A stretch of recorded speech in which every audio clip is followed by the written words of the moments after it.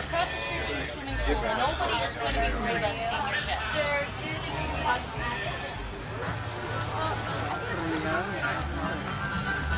Lawrence Originals is a group of 23 locally owned uh, restaurants in our community. Their mission is to preserve the unique culture of cuisine in our in our community here. Um, they are. Um, active um, in the community as far as they're part of the Lawrence Give Back program. Um, anytime you go to a Lawrence Originals uh, restaurant, they will donate 5% of your tab to the charity of your choice through the Lawrence Give Back program. So they're very civically minded. Oh, skiing on Saturday? Oh, you did?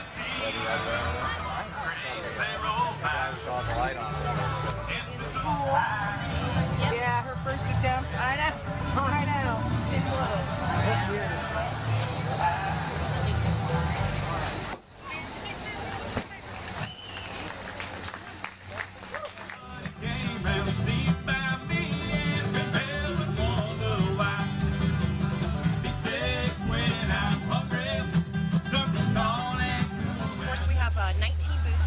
Here, food booths, um, that are the wide range of food, um, anywhere from Indian food to Mexican food to pizza, locally brewed beer by 23rd Street Brewery.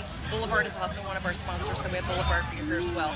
Tellers really stepped it up this year. Tellers has a really unique tent. They have a uh, competition among their chefs here, so you can. They're having a.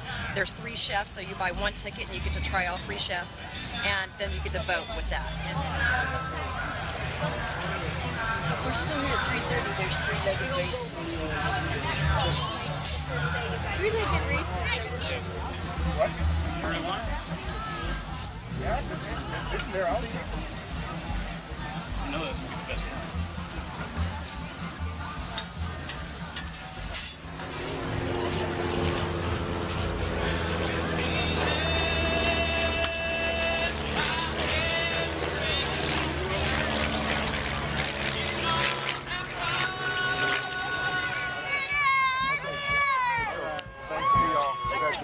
And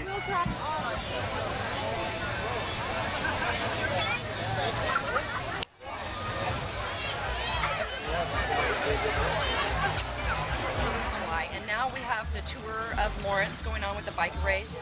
And that's just a fantastic event. And I think that gets people excited about staying in town and, and having that event and then capping it off with this event that people are really starting to think, okay, maybe we should stick around this year. So